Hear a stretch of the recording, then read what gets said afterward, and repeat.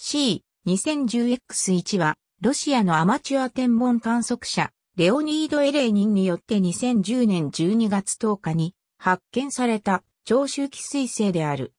アメリカ合衆国ニューメキシコ州、メイヒル近郊に位置する国際科学工学ネットワークの天体望遠鏡の遠隔操作観測によって彗星であることが追認された。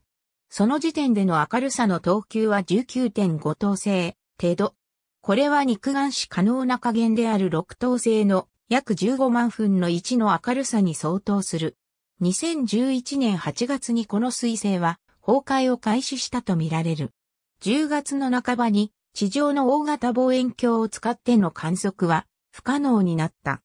2011年10月16日、この彗星は予測されていた軌道を保ち地球からは遠ざかっていることが観測された。なお、この彗星が再び太陽系の中心部及び地球の公転軌道面に近づくのは、離心率の平均値から最短でも1万2000年後であろうと予想されている。発見者であるレオニード・エレーニンは、彗星の核の直径は3から 4km との推定を公表している。彗星は近日点を通過した頃から観測できなくなり、代わりに水星の軌道に沿って広がる雲状の天体が発見された。これは崩壊した C2010X1 の残骸と見られている。水星は脆い天体であるため、太陽に接近する新しい水星の2%は、このような崩壊を起こすと考えられている。2011年4月、冥王星と同程度の15等星の明るさを持ち、コマの大きさは約8万 km と推定された。同年5月21日にコマは10万 km を超える大きさに達する。同年8月の時点では20万 km を超えると推測された。2011年5月22日から6月4日の間に、等級は13.8等星から13.1等星になり、同年7月10日に10等星、8月中旬に8.3等星にまで明るさを増す。しかし、これは夜間に肉眼視が可能な6等星の1、5の明るさでしかない。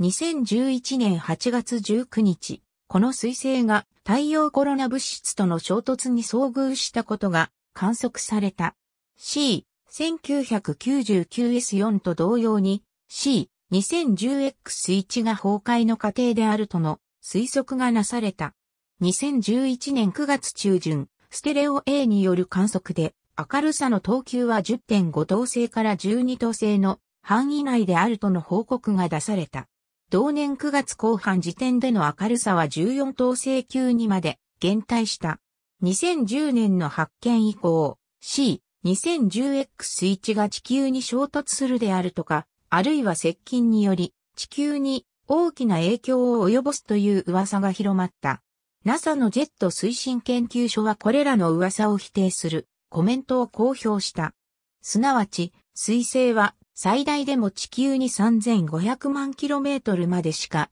接近せず、この距離から地球に何らかの影響を及ぼすには、あまりにも小さすぎるという事実である。C、2010X1 が地球に衝突も影響を及ぼすような接近もしないことは発見当初から分かっていたことであり、発見者のレオニード・エレーニンは、恐怖論者がなぜ私が発見した彗星を選んだのか、わからないと述べている。ありがとうございます。